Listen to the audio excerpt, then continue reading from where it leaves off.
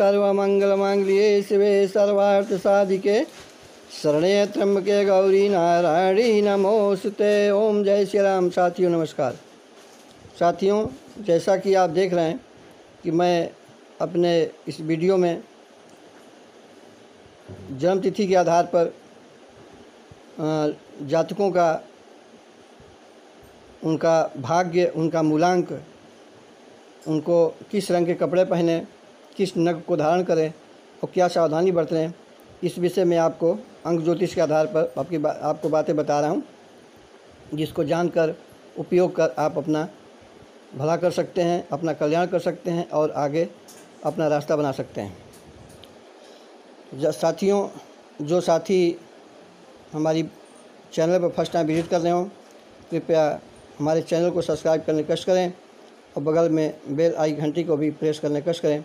जिससे हमारी बनाई हुई वीडियो आपको समय प्राप्त हो सके और आप उसका लाभ उठा सकें। तो साथियों, जैसा कि मैंने आपसे चर्चा किया था, आपको बताया था कि हमारे पृथ्वी के सौर मंडल में नौ ग्रह हैं, सूर्य सूर्य से लेकर के राहु, केतु तक। उसी प्रकार हमारे मूलांक जो है, एक से लेकर नौ तक होते हैं। इन्हीं मूलांकों के आधार पर आदमी का, व्यक्ति का जीवन निर्धारित होता है और जो हमारे ग्रह हैं, नवग्रह हैं, वो भी किसी न किसी मूलांक के से प्रभावित होते हैं। उन ग्रहों पर, उन मूलांकों का, इन गिनतियों का, इन अक्षरों का प्रभाव होता है। तो साथियों, मैंने आपको जनवरी में उत्पन्न जो जातक हैं, इनका मूलांक एक एवं दो है, उसके विषय में आपको बताया था। आज मैं जिन व्यक्तियों की जन्मतिथि जनवरी में तीन, बारह, इक्कीस एवं तीस है, उन लोगों का मूलांक तीन होगा और उनके जन्मतिथि के हिसाब से क्या करना चाहिए, क्या नहीं करना चाहिए, इसके विषय में आपको बातें बताने जा रहा हूँ।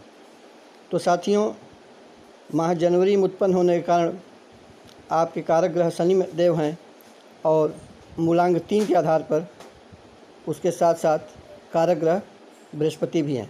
इस प्रकार आपके दो कारक ग्रह हुए, शनि देव एवं गुरुदेव तो साथियों, जैसा मैंने चर्चा किया, जिन जातकों की जन्मतिथि जनवरी में तीन, बारह, इक्कीस एवं तीस है, इस प्रकार के जातक, इस जन्मतिथि वाले जातक अत्यंत महत्वाकांक्षी होंगे और उनके अंदर अपने जिस क्षेत्र में कार्य करते हैं, उसमें टॉप पर पहुँचने की महत्वाकांक्षा होती है और पहुँचने का प्रयास करते हैं। इन तिथियों में उत्पन्न जातक अपने दम पर, अपने प्रयास से जीवन में नई ऊंचाइयों को प्राप्त करते हैं, उस पर पहुँचते हैं और इन नई ऊंचाइयों को छूने के कारण जल्दी शीघ्रता से अपने मंजिल पर ऊंचाइयों पर पहुँचने के कारण उनके दुश्मनों की संख्या भी अधिक हो जाती है। जिससे उन्हें सावधान रहना चाहिए। साथियों, इन जन्मतिथियों के जातक जिस क्षेत्र में भी कार्य करेंगे, उस क्षेत्र में में अपने उच्च पद पर आसीन होने का प्रयास करते हैं, जिनमें उन्हें सफलता पर भी प्राप्त होती है। लेकिन अगर गुरुदेव मतलब बृहस्पति ग्रह, अगर अच्छे नहीं हैं, अच्छी जगह नहीं बैठे हैं, अच्छी राशि में नहीं बैठे हैं उनका अच्छा प्रभाव नहीं है, उनकी दृष्टि ठीक नहीं है तो आपको इन ऊंचाइयों को छूने में, प्रमोशन में इत्यादि में और अपने उच्च स्थान में स्थापित करने में बाधा उत्पन्न होती है।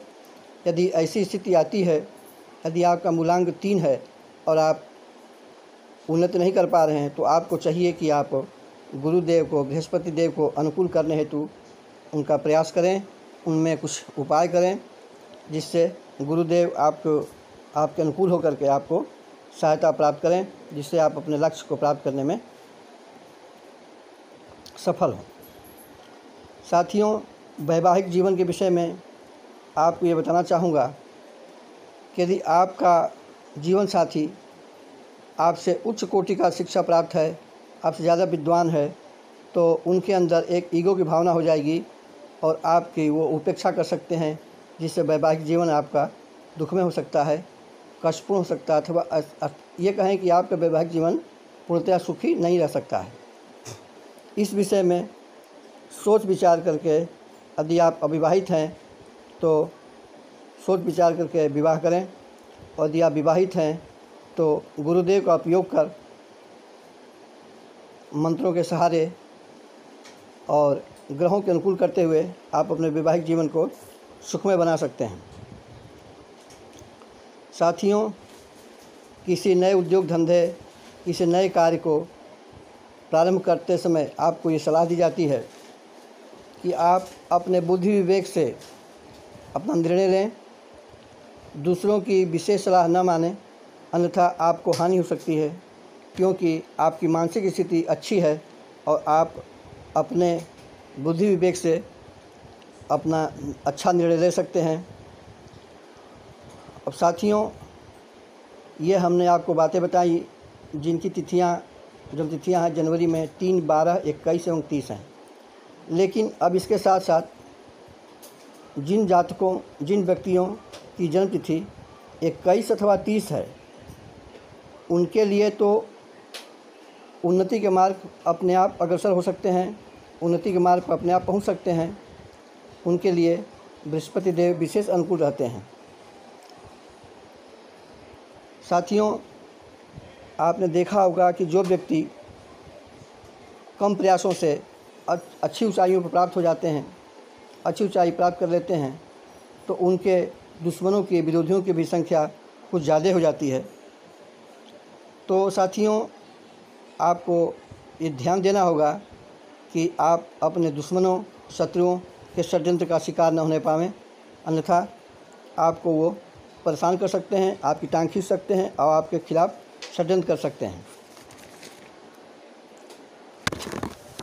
साथियों, यदि आप शिक्षक हैं आप शिक्षार्थी हैं, शिक्षा प्राप्त कर रहे हैं तो आपको सलाह दी जाती है कि यदि आप कहीं नौकरी के लिए आवेदन कर रहे हैं तो आप इन तिथियों का विशेष ध्यान रखें इन तिथियों में आवेदन करने पर आपको विशेष सफलता प्राप्त हो सकती है। और जो नवीन उद्योग धंधे स्थापित करना चाहते हैं, उनको भी सलाह दी जाती है कि वो इन तिथियों में ही अपना कार्य प्रारंभ करें, शुरू करें, जिससे उनके कार्य में उनको सफलता प्राप्त हो। साथियों, एक सलाह और दी जाती है। कि मूलांक तीन के जातक यदि कोई नवीन उद्योग धंधा स्थापित करना चाह रहे हैं, उसमें अपना योजना बना रहे हैं तो एकदम से भारी पूंजी निवेश करने से बचें। जो भी उद्योग धंधा स्थापित कर रहे हैं, उसको धीरे धीरे गति प्रदान करने कष्ट करें, जिससे आपको कोई विशेष समस्या उत्पन्न न हो। आपके अंदर काम करने की प्रवृत्ति ज़्यादा रहेगी। ज़्यादा परिश्रम करने से आपका स्वास्थ्य खराब हो सकता है। इसलिए परिश्रम के कार्यों से कुछ परहेज़ करें। ज़्यादा परिश्रम करने पर आपको हार्ट संबंधी बीमारी हो सकती है। और साथियों, अब जो आपको मैं रंग बताने जा रहा हूँ, इन रंगों का प्रयोग करके जो है, आप अपने प्रभाव में वृद्धि कर सकते हैं। समाज में अपना स्थान ऊँचा बनाने के लिए, अपना प्रभाव बढ़ाने के लिए यदि आप नौकरी पेशा हैं तो ऑफ़िस में अपने व्यक्तित्व में निखार लाने के लिए आपको चाहिए कि आप जामुनी, बैगनी, पीला, नारंगी से मिलते जुलते कपड़े धारण करें। यदि आप ऐसा नहीं कर पा रहे हैं किसी दिन तो आप पीली अथवा नारंगी से मिलती जुलती हैंकी रुमाल अपने जेब में रखें और उस हैंकी रुमाल का अनायास प्रयोग करते रहें, जिससे वो आपके टच में रहे, जिससे आपका जो भाग्य है आपके अनुकूल रहे, लोग आपसे प्रभावित रहें और आपके भाग्य में वृद्धि होती रहे। और साथियों, यदि आप अपने जीवन में उन्नति हेतु कोई नग धारण करना चाहते हैं तो आपको सलाह दी जाती है कि पुखराज अथवा सुनेला अथवा काला मोती इन नगों को आप धारण करके अपने व्यक्तित्व में निखार ला सकते हैं अपनी उन्नति के मार्ग खोल सकते हैं। इस प्रकार साथियों जो मूलांक तीन के जातक हैं उनको क्या करना चाहिए और क्या कर, नहीं करना चाहिए किस रंग के वस्त्र पहने किस नग किस तरह का नग पहने जिससे उनके भाग्य में वृद्धि हो और समाज में उनका सम्मान बना रहे, ऊँचा बने रहे। इस विषय में आपको मैंने आवश्यक जानकारी दिया। यदि आप को हमारी बातें अच्छी लगी हों, हमारे बताने का ढंग अच्छा लगा हो तो कृपया हमारी वीडियो को शेयर लाइक करने कष्ट करें। और जो साथी आपके टच में हैं, उनको भी इससे अवगत कराने कष्ट करें, जिससे इसको जान करके वो भी अपना लाभ प्राप्त कर सकें। जय श्री राम, साथियों, नमस्कार।